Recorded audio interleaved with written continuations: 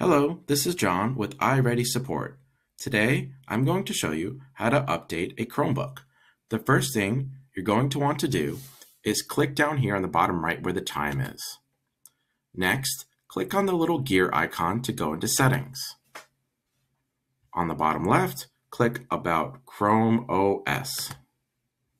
Lastly, go ahead and click Check for Updates. If your Chromebook needs an update, it will start downloading and installing now.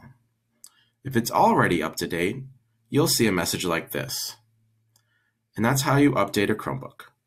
Thank you for watching. Don't forget to subscribe to the channel. For additional support information, go to www.i-ready.com forward slash support. There you will find options on how to contact our support team, as well as helpful resources such as our system requirements and system check.